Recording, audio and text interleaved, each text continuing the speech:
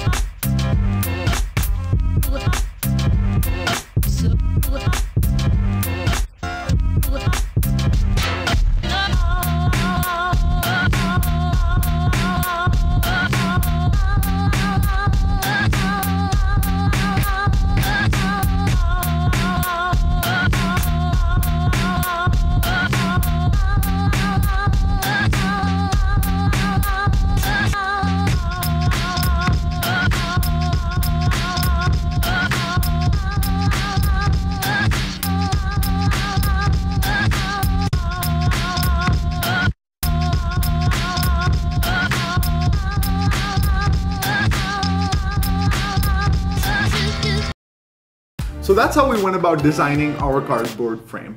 We had a lot of fun trying things that are easy to do in cardboard but hard to do in carbon, like the integrated battery holder, or the uprights for the camera, or even our little canopy. And all those things worked out so well that we encourage you to try and be experimental and imaginative when you're doing this for yourself, and kind of imagine the drone frame for what it could be, not what we've been conditioned to think that it is. And this will hopefully help you find your dream frame, help you realize ideas that you may have.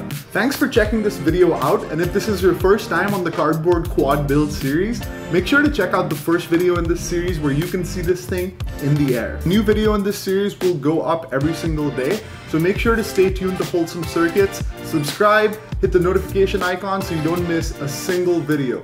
On the next video, I'll be taking you guys with me to Reynolds Advanced Materials where we're gonna actually choose the perfect resin to reinforce our cardboard drone with. This is gonna give us a lot of strength and stability in the air. And I don't know all that much about resins, but we're gonna learn at Reynolds together. So make sure to check back for the next video in the series, and I will see you next time. Thanks.